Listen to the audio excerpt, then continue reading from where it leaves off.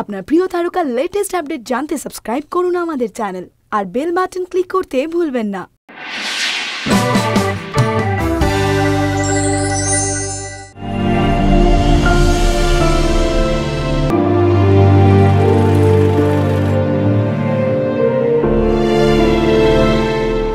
মানুষ ছবি শুটিং করতে যায়, তার মধ্যে সাদা, কালো গ্রে সবই থাকে।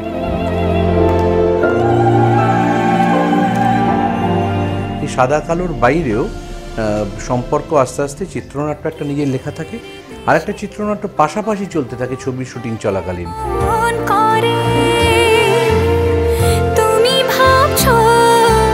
এটা একটা ছবি হচ্ছে সেই ছবিটা শুটিং হচ্ছে সেই শুটিং চলাকালীন পাশাপাশি কীভাবে বিবর্তিত হচ্ছে সম্পর্কগুলো সেইটা নিয়ে ছায়া ও ছবি।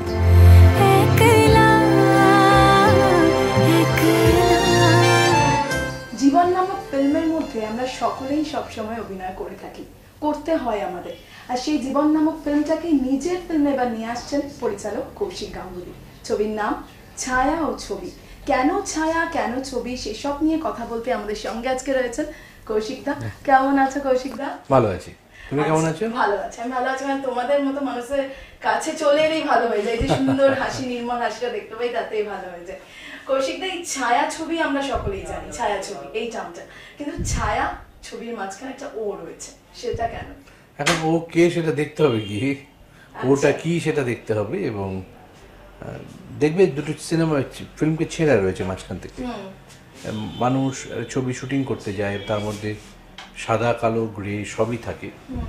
এই সাদা কালোর বাইরেও সম্পর্ক আস্তে আস্তে চিত্রনাট্য একটা নিজের লেখা থাকে আর একটা চিত্রনাট্য পাশাপাশি চলতে থাকে ছবি শুটিং চলাকালীন।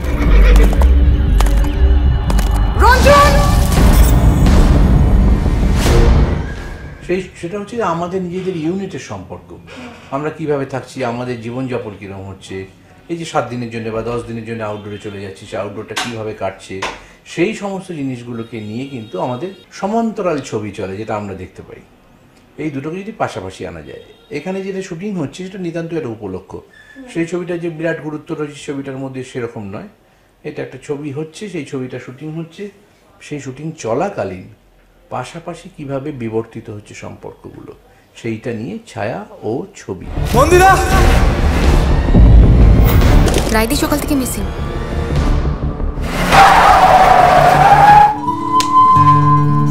মাথায় পোকা। হ্যাঁ, সেইটাই দেখার গল্পটার মধ্যে যে কীভাবে সম্পর্কগুলো বেরোয়। তোমার চেনা মানুষ তুমি তাকে আবার নতুন করে ডিসকভার করছ। তোমার ভালোবাসার মানুষ তাকে তুমি আরও ভালোবাসছো। বুঝতে পেরেছ? কাজে ফাইনালি কোথায় গিয়ে যেন একটা প্রেমের উদযাপন হচ্ছে। সারাক্ষণ প্রেমের কথা হচ্ছে। বিসর্জনের একটা ভালোবাসার ছবি ছিল, যেটা এরকম বিরাট সাকসেস পেল। বিসর্জনের পর এটা আরেকটা প্রেমের গল্প কিন্তু। এবং সেটাই খুব ইন্টারেস্টিং একদম এটা আবার urban urban in the sense R film unit মানে বুঝতেই পারছ এটা শহর এবং দার্জিলিং এত সুন্দর, আমার অনেক ছবিতে ছিল, এত সুন্দর, খুব কম লেগেছে। আমরা লোকেশন পেয়েছি এমন এমন হোটেল পেয়েছি চোখ জুড়িয়ে যাওয়ার মতো। মাটি জানে সে গল্প। কতটা দূরে মন যেতে পেরেছে শরীর কত তেমনি ভালো কস্টিউম হয়েছে অভিনয় ভালো হয়েছে সব কিছু মিলে একটা নতুন চেহারা নিয়েছে এবং ছবিটার মধ্যে তোমরা যারা ট্রেলারটা দেখেছ বুঝতে পারছ একটা মনে হয় কীরকম থ্রিলার এলিমেন্ট রয়েছে থ্রিলারের জন্য খুন করতে হয় না প্রেমের মতো বড় থ্রিলার আর কিচ্ছু হয় না হ্যাঁ মানে যারা ভালোবাসতে জানেন তারা জানেন যে রুদ্ধশ্বাস হয় একটা প্রেম এবং সেই প্রেমগুলোকে এগিয়ে নিয়ে যাওয়া Who's doing this? Rai needs a break. A star is a star is a star. থাকতে থাকতে আরও বেশি ভালোবাসা কাজ মানে মানুষটাকে নতুন ভাবে চেনা কখনো সেটা নিশ্চয়ই তোমার তাহলে চুর্নিদির সাথে প্রত্যেক পদক্ষেপে হয়। আরে রোজ বাড়ছে সেটা ভেবে লাভ নেই। আমরা গল্প করছি আড্ডা মারছি মনোমালিন্য হচ্ছে আমাকে একটা কাজ দিয়েছি ফাঁকি দিয়েছি ধরা পড়ে গেছি যা হয় ঠিক যেরম যেরম হয় ঠিক সেটা তার মধ্যে দিয়েই তো সম্পর্ক বাড়ে। তার মধ্যে দিয়েই হঠাৎ একদিন খুব মেঘলা বিকেলবেলায় বারান্দায় দাঁড়িয়ে দুজনে চা খেতে খেতে খুব মন খারাপ হয়ে যায় যে কতটা রাস্তা বেরিয়ে এসছে। এই ছবির ক্ষেত্রে তাই কাটতে কাটতে কাটতে কাটতে ভালো মন্দ সেগুলো বেরিয়ে আসতে শুরু করে। মানুষের মানুষের সম্পর্ক যাদেরকে পছন্দ হচ্ছিল না সেই মানুষগুলো আস্তে আস্তে বদলে যায়। যে মানুষটা দূরে ছিল সে মানুষটা কাছে চলে আসে। কাছের মানুষ সে আবার নতুন চেহারা নিয়ে নেয়। তাকে দেখতে আরও অন্যরকম মনে হয়। যে এইভাবে তো তাকে ভাবিনি।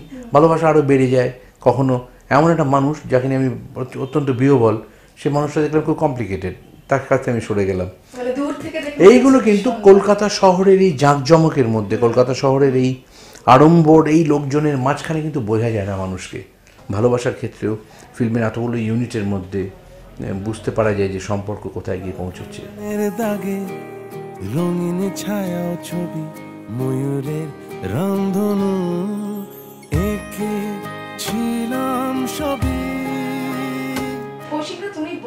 ছবিটা হচ্ছে ভেতরে ছবির ভেতরে যে ছবিটা সেটা যে ইম্পর্টেন্ট হচ্ছে তার বাইরে যে সময়টা কাটাচ্ছেন সকলে অভিনেতা অভিনেত্রীরা মানে ইন্ডাস্ট্রির লোকজনেরা। তো সাধারণ মানুষ যারা থাকেন তারা এই ইন্ডাস্ট্রিকে নিয়ে অনেক রকম কিছু ভেবে ফেলেন। সেই শুধু ভালো দিকটাই দেখিয়েছে না খারাপ দিকটাও দেখিয়েছে যে বাইরে যাচ্ছে থাকছে নানান রকম সাদা কালো সব আছে। একদম সাদা কালো সব থাকবে। আচ্ছা। কারণ কি মাথায় রাখতে হবে একটা জিনিস যে আমি আগেও একটা কথা বলেছি যে ডাক্তার ইঞ্জিনিয়ার অন্যান্য যারা প্রফেশনে আছেন, তাদেরও ভালোবাসা, পরকীয়া, রেশারেশি, যুদ্ধ, লড়াই সব হয়। কিন্তু সিনেমার লোক যারা, তাদের ক্ষেত্রে কিন্তু শিল্পের লোক যারা, বিশেষ করে আমি বলব অভিনেতা, অভিনেত্রী, পরিচালক, তারা সারাক্ষণ ইমোশনের ইমোশন নিয়ে খেলা করছেন এবং ইমোশন কেনা বেচা করছে। তাতে ইমোট করে। একজন ভালো অভিনেত্রী কাঁদলে বিশ্বাস করা যায় না যে সে অভিনয় করছে। একটা ভালো চুম্বন দৃশ্যে বিশ্বাস করা যায় না, একটু পরেই দুজনে ইয়ার্কি মারবে এবং দুজন বন্ধু আসলে। কোনো সম্পর্ক নেই দুজনের। এই যে ইমোট করতে পারার ক্ষমতা, এটা কিন্তু মনের ওপর খুব চাপ পড়ে। সেইটা কিন্তু একটা সময় গিয়ে খুব ভালনারেবল হয়ে যায় কাজে। সেই মন সবসময় খুব সজাগ। সে ঠিক করবে, ভুল করবে, বিভ্রান্তি হবে। সেইগুলো না, এটা, এর একটা অংশ, পেশার সমস্যা। ঠিক তেমনি সিনেমার লোকেদের মন ভালনারেবল হবে খুব। এটা কিন্তু কোনো বিলাসিতা বা উশৃঙ্খলতা সবসময় নয়। সেটা এটা একটা খুব ওই রকম হয়ে থাকে মানে কমজোরি হয়ে থাকে। সেইটা খুব মানে সুন্দরভাবে ব্যবহৃত হয়েছে এখানে। মানে না দুর্বলতা না না। আমি বললাম না ওটা একটা পেশার সমস্যা। কাজে এমনি ওভারঅল ওইভাবে মানে সাদা মেটা করে বললে হবে না। কিন্তু এটা তাদের পেশার একটা অংশ ইমোশনের ওপর নিচ হয় একজন স্টার রেগে যায় একজন স্টার হঠাৎ বিরক্ত কি আর পারছে না নিতে? এত ফ্যান এত সই সারাদিন ধরে দিচ্ছে যে তারপর আবার একটা লোক কথা বলতে ইরিটেটেড হয়ে যাচ্ছে বা তার যে বয় তার উপর সে নিজের লোকের উপর রেগে যাচ্ছে ভীষণ। কারণ আর ফেস করতে পারছে না আউটার ওয়ার্ল্ডকে তাকে আমরা অ্যাপারেন্টলি খিটখিটে দেখছি। আবার হয়তো রাত্রিবেলায় সেই মানুষটা তার ছেলেটাকে কি বলে কিছু মনে করিস তো বাবা কিছু? সেই মানুষটা আসলে খুব ভালো মানুষ। সবাই খুব ভালো মানুষ কিন্তু আবার বলছি। ওই যে ছায়া ছবি মাঝখানে ও যেটা ওটাই আসল মানুষ। যে ওটা সরে গেলে জুড়ে যায়। যে ইন্ডাস্ট্রিতে আছো কাজ করছ সেই ইন্ডাস্ট্রির প্রতি তোমার কোনো রেসপেক্ট নেই। টাচ করে দেখুন কি করবে তুমি? তো উম, কৌশিকদা আমরা যদি ধূমকেতু দেখি সেখানে দেবদা এবং শুভশ্রীদি এখানে আবার কোয়েল দি। মানে সো কল্ড বাণিজ্যিক ছবি নায়ক নায়িকাদের নিয়ে কাজ আছে। যদিও তুমি জ্যাকপট আগে করেছ কোয়েল দির সাথে সেটা কি কোনো বিশেষ কারণ আছে? মানে প্রত্যেক ধরনের দর্শকদের কাছে পৌঁছে যাওয়া। না আমার স্টার ফোবিয়া আছে। ফোবিয়া আছে মানে কি? আমি আমি গভীর প্রেমে পড়ে থাকি ভালো অভিনেতা, অভিনেত্রীদের। এই নিয়ে কোনো দ্বিমত নেই। স্টাররা যে খারাপ অভিনেতা, অভিনেত্রী বলব না, কিন্তু এরকম খুব রেয়ার কম্বিনেশন যে স্টার এবং অসামান্য অভিনেত্রী বা অভিনেতা। এই কম্বিনেশন খুব মানে সবসময় পাই না আমরা। আর অভিনেতা হচ্ছে যত নোংরা পোশাক পরে থাকছে, তত তার দাম বাড়ছে হয়তো। বুঝতে পেরেছ? মানে সেটা দুটো তফাৎ। কোয়েল যেরকম, আমি দেখলাম যে দু বছর একটা কোনো ছবি করল না। এই যে গ্যাপটা ইজ ভেরি সিগনিফিক্যান্ট গ্যাপ ও ডিসাইড করল যে আমি যেভাবে যাচ্ছিলাম যথেষ্ট সম্মান পেয়েছে।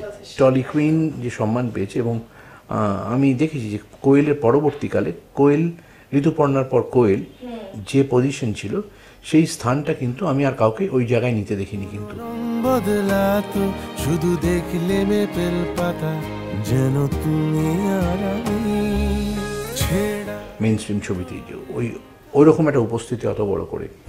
সেই জায়গাটা এখনও কেউ নিতে পারেননি। সেইখানে কোয়েল যদি দু বছর পরে ফিরে এসে, আমি হেমলক সোসাইটি থেকে ইন্টারেস্টিং কাজ করতে দেখেছি। জ্যাকপটে আমার ওর কাজ খুব ভালো লেগেছিল। আজকে কোয়েলের সাথে কাজ করতে গিয়ে দেখছি যে খুব পরিণত। দেখো, কোয়েলকে যে মেন স্ট্রিম ছবির জগৎ চেনে, সেই কোয়েলের সাথে ব্যক্তি কোয়েলের কোনো মিল নেই। কোনো মিল নেই মানে কোনো মিল নেই। জিরো পার্সেন্ট মিল। সেটা কি রায়ের মধ্যে দেখিয়েছো রায়ের মধ্যে মিক্সড রয়েছে ডেফিনেটলি কিন্তু কোয়েলের যে পড়াশোনা যে ধরনের সিনেমা দেখা কোয়েলের যে জীবনযাপন এবং যে ধরনের ছবিও দেখে সাহিত্য পড়ে সে মানুষটা সম্পূর্ণ আলাদা পায়ের নখের মাটি জানে সে গল্প আউটডোরে তোমার শেষ সিনটা আমরা কালকে শুট করব I have missed it. A big, big. এবং এইবারে হচ্ছে ওর অনুশীলন ভীষণ মেধাবী এবং ও কীভাবে গ্রো করছে, যেভাবে ধূমকেতুতে দেব, এমন একটা জায়গায় নিজেকে নিয়ে গেছে। ধূমকেতু ছবিটাতে আমার মনে হয় না আর কোনো ছবিতে ওটা করতে পেরেছে।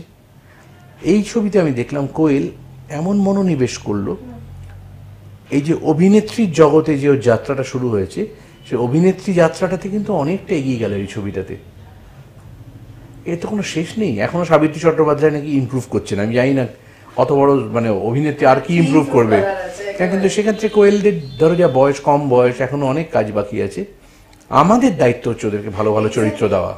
এটাই বলছি কি এতদিন ধরে ভুলটা কার মানে অভিনয়ের ক্ষেত্রে কোনো ভুল ছিল নাকি সঠিক চরিত্র দেওয়া হয়নি কোয়েল সেইটা ভুল না না এটা এটা ইটস ম্যাটার অফ চয়েস ও একরকমের অন্য ছবি করছিল।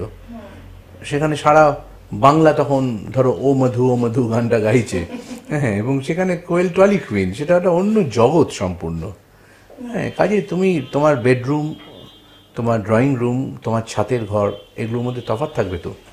হ্যাঁ সেরকম রুম পরিবর্তন করেছ। দেখো এখন এখানে এসছে মেন স্ট্রিমে ইন্টারেস্টিং যদি ছবি হয় কারণ মেন স্ট্রিম যেরকম ধরনের ছবি হয়ে চলেছিল সে ধরনের ছবি কিন্তু আর বেশি দিন নেই সে ছবি চলবে না। হ্যাঁ মারদাঙ্গা অমুক তমুক নাচ touch we had enough of that এবং বিগত অনেক বছর ধরে বলছি যে দেখতে দেখতে লোকে আর পারছে না, তার প্রমাণ হচ্ছে, কোনো ছবি চলছে না ওই ধরনের।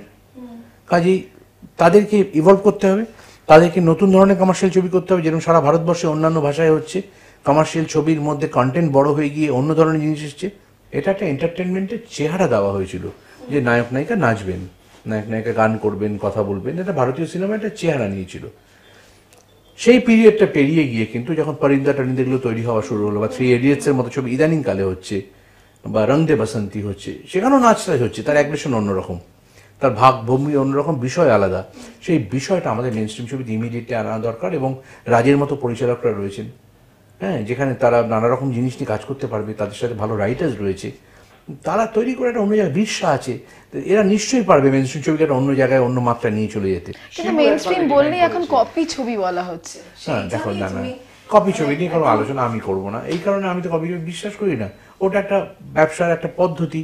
ওই যে ওই ধরনের ছবি করে সারা পৃথিবীতে সবাই মার্টিন স্কসেসি পর্যন্ত কপি ছবি করেছে। কপি মানে কি? ভার্সন ছবি করেছে। তার থেকে নিয়ে ইন্সপায়ার হয়ে একটা ছবি বানিয়েছে। মেন না না পয়েন্টটা হচ্ছে তখনই তোমার জীবন স্বার্থ আমার তো খুব ইচ্ছে করে কপি ছবি করতে বিশ্বাস করো। আচ্ছা। হ্যাঁ আমি যদি কোনোদিন সুযোগ পাই আমাকে যদি সুযোগ দেয় আমি একটা ওরকম একটা ছবি করব। যে ছবিটা আমি এই ছবি থেকে নিয়ে এই ছবিটা বানালাম সরাসরি। কিন্তু মানে যে কোনো ওরম করে ওরম না একটা ভালো ছবি বেছে নিয়ে আমার করবার খুব ইচ্ছে রয়েছে আমার খালি জানতে ইচ্ছে করে যে কেন আমরা মূল ছবির থেকে বেটার ছবি বানাতে পারব না। যে তোমার সুপারস্টার সুপারস্টারডমের পিছনে একটা সাধারণ সিম্পল মেয়ে লুকিয়ে আছে না আমার সেই রেয়াকে বেশি পছন্দ। সামনাসামনি আলাপটা না হলেই ভালো। আচ্ছা এবার কোয়েলদির একটু ফিরে যাই জ্যাকপটের পর এতদিন পর আবার কোয়েলদি। মানে তুমি কতটা ডিফারেন্স বুঝলে? মানে মার্কস ধরো তখন দিয়েছিলে ধরো সেভেন আউট অফ টেন এখন কি টেন আউট অফ টেন না না না না। টেন আউট অফ টেন আমি দিতে পারছি না। আমি এইট অ্যান্ড হাফ নাইন দেবো নাইন পয়েন্ট ওয়ান দেবো। আচ্ছা। সেটা অনেক। ওই নাইন দিলাম বলেই কোয়েলের হাতে এখনও দশ রয়েছে। আমাদের হাতেও দশ রয়েছে। একসঙ্গে এগোবার জন্য। যদি টেন হয়ে যেত আমি আর কোয়েলের সাথে কাজ করতাম না। যেমন আমি দেবকে বলে দিয়েছি যে ধূমকেতু থেকে বেটার চরিত্র যতদিন না লিখতে পারব তোমার জন্য ততদিন আমি একসাথে তোমার সাথে কাজ করব না। কৌশিকা ধূমকেতু নিয়ে যখন এত কথা বলছো ধূমকেতু নিয়ে এত টালমাটাল হচ্ছে সামনে, এই ডাবিং নিয়েও যে বিষয়টা চলছে, তোমার এটা কতটা খারাপ লাগে? কারণ তুমি তো বানিয়েছো নিজের হাতে, আজকে কি বলবে? একটা ছবি নিয়ে ছবিতেও এই ধরনের আমার অবস্থা হচ্ছে বড় বাড়ি রাজমিস্ত্রির মতো, বুঝেছ? খুব যত্ন করে বাড়িটা বানানো হয়েছে, লোক এসে থাকবে, কেউ থাকছে না এখনও।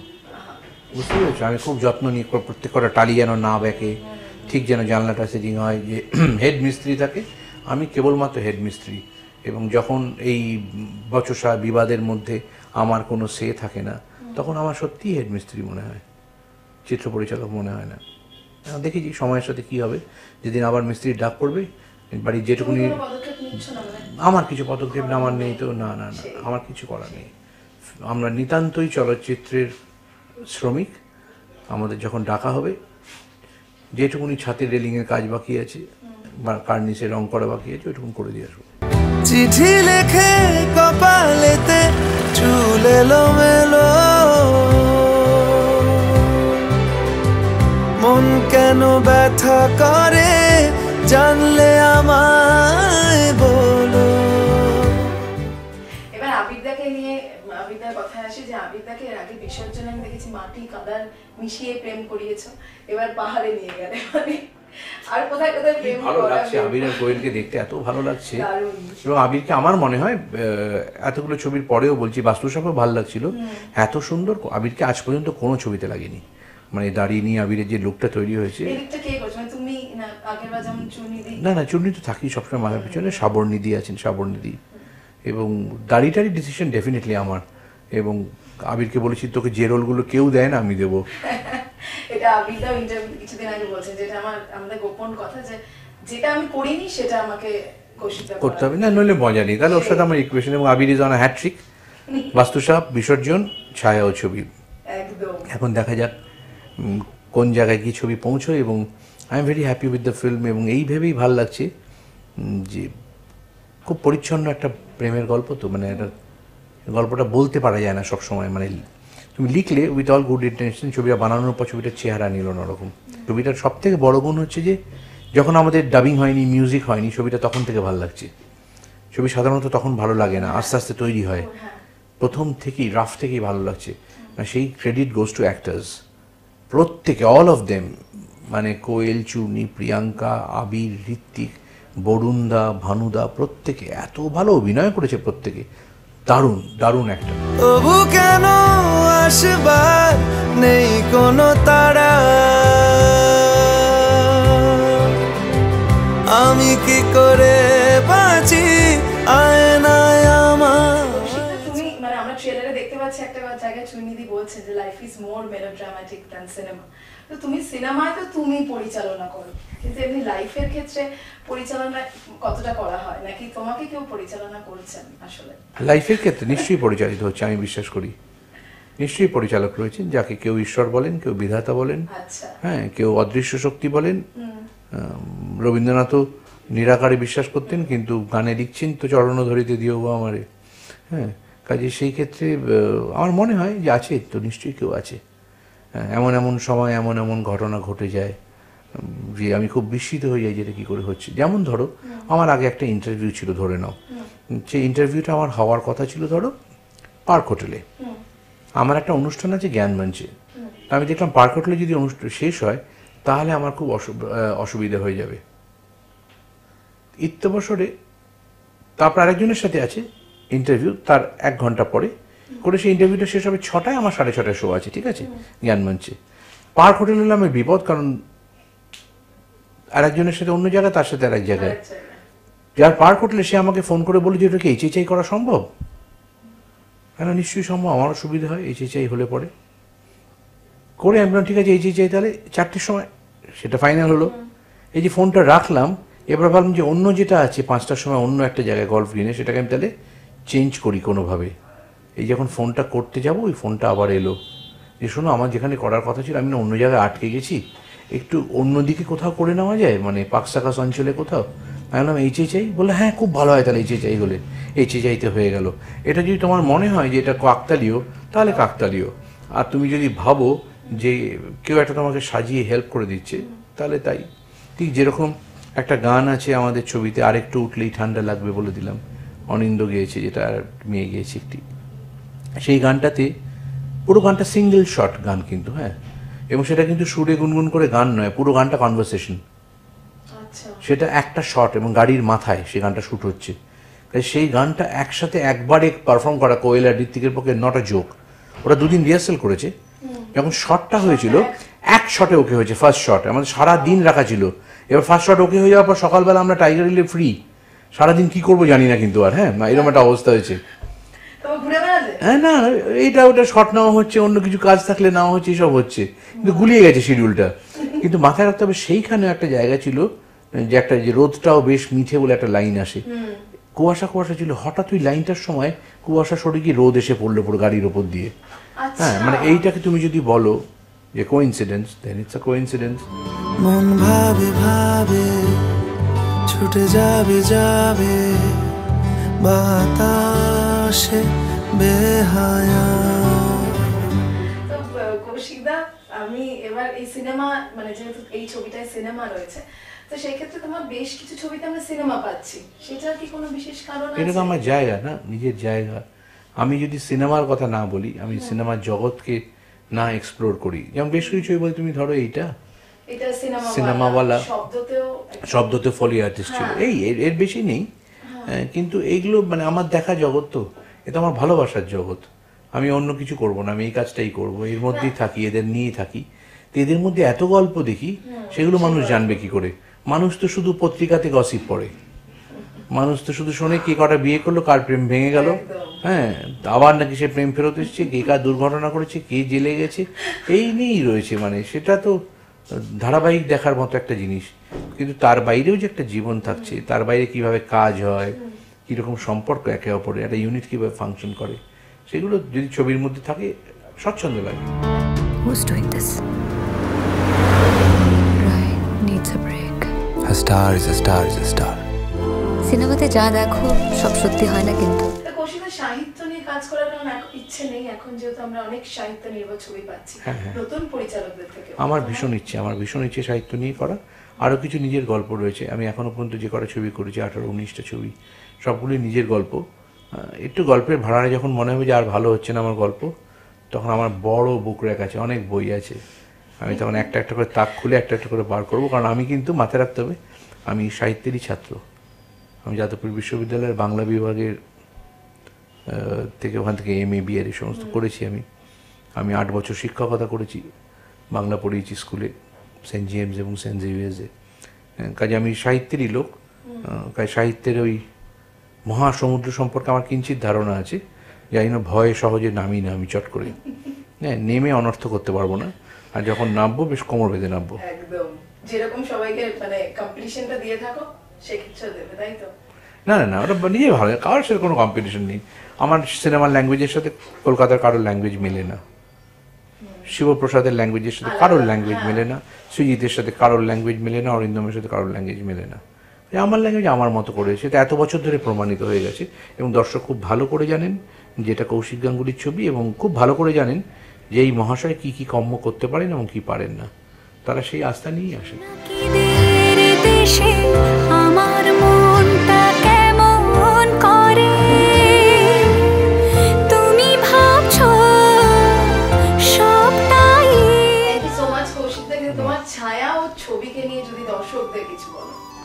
আপনারা ভালোবেসে বিসর্জন দেখেছেন। দেখেছেন মানে কি সাংঘাতিকভাবে দেখেছেন। যারা যারা বিসর্জন দেখেছেন, তারা একদম প্রথম সপ্তাহে গিয়ে দেখে ফেলুন। একদম অন্য আঙ্গিকে, অন্য চেহারায় কোয়েল মল্লিককে দেখুন।